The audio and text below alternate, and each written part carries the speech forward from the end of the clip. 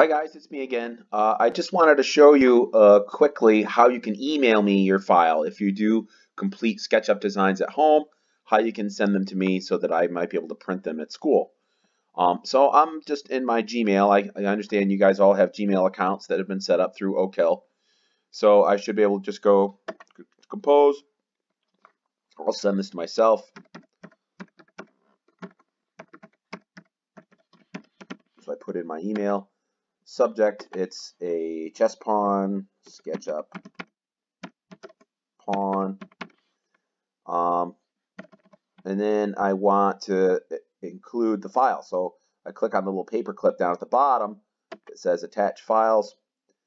And I know I saved that file in the tech folder, in the SketchUp folder, and I called it chess pawn. And I had the date, didn't I?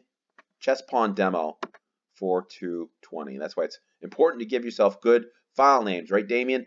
So that you can find things. So if I click open, it's going to load that file into my email. And I'll just give myself a little message. Here is the pawn. And send.